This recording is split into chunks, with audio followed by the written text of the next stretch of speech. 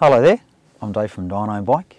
And this is the long-awaited arrival of the Yamaha R7, which we have been dying to get our hands on and tune.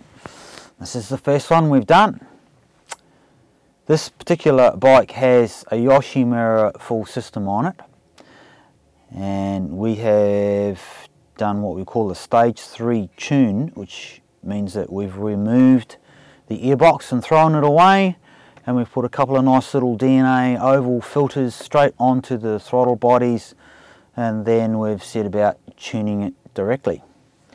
Uh, the result is that this one has now got 70 horsepower as opposed to what it did have which was 48 but the 48 was with the Yoshimura system already fitted um, what else can I say? Uh, this bike is ready to go and go well, it will.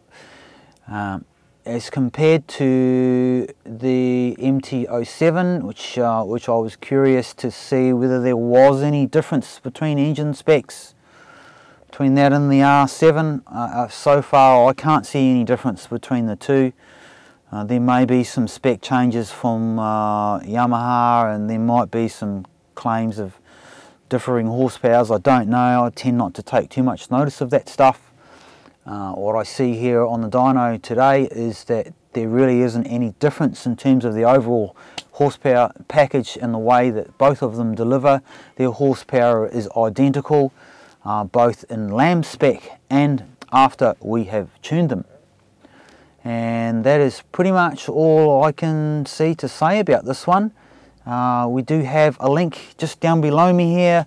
If you wish to purchase the tune, the stage 3, we also have a stage 2 by the way. You can go to the website if you click on the link and purchase yours. We also have the Yoshimura exhausts for this bike. The link is there also to click on that. Go in and purchase that system if you wish.